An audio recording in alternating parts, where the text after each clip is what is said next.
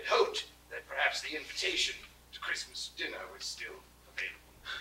Available? Yes, why, of course it is. Uh, oh, um, well, that is if we still have room. What with this being last minute and all. Well, what do you say, Mary? Good evening, Mr. Scrooge.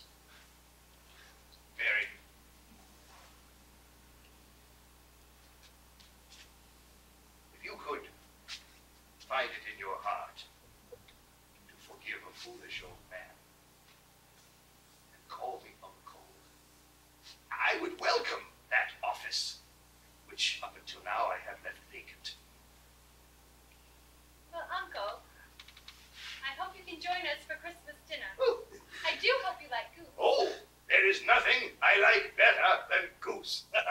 yes,